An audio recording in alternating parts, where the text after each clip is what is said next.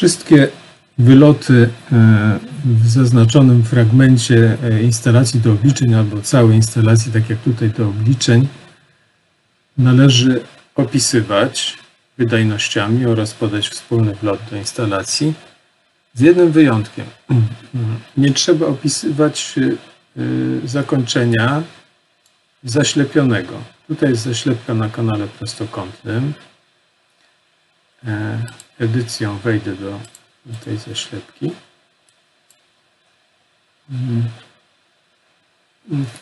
Właśnie trzeba pamiętać o tym, żeby wstawiać tą zaślep, zaślepkę tak, jak jest jej punkt wstawienia, czyli tym punktem, którego blok zaślepki trzyma się, trzyma się kursora. Tym trzeba dostawiać do kanału, żeby poprawnie ta zaślepka zadziałała.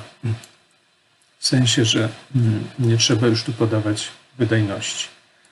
Drugie takie miejsce w tej instalacji to jest zaślep, zaślepka na kanale okrągłym.